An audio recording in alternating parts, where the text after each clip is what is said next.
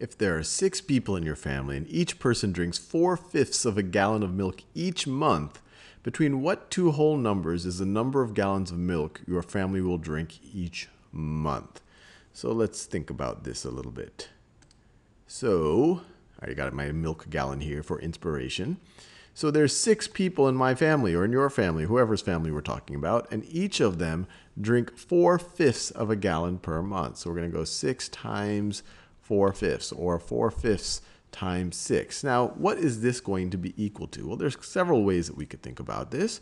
One, we can express six as a fraction. We could say that this is the same thing as six over one times four fifths times four fifths. And you multiply the numerators, you multiply the denominators. 6 times 4 is 24, and 1 times 5 is 5. So 24 fifths gallons are going to be drunk every month. And this is the same thing. Let's see, 5 goes into 20 evenly and has a remainder of 4. So we could write this as 20 over 5 plus 4 over 5. Let me move over a little bit so I don't run out of space. Plus 4 over plus 4 over 5 which is the same thing. This is 4. So this is 4 and 4 fifths. So that's one way to think about it.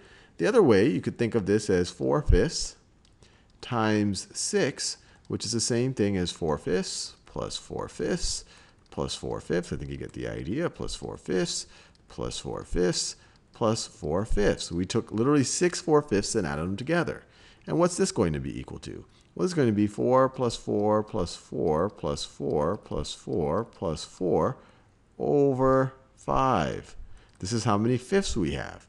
Well, this is 6 times 4, or you could say 4 times 6 over 5, which is equal to 24 over 5, which we've already figured out is 4 and 4 fifths. So either way, we're going to drink 4 and 4 fifths gallons per month. Now let's try to answer the actual question.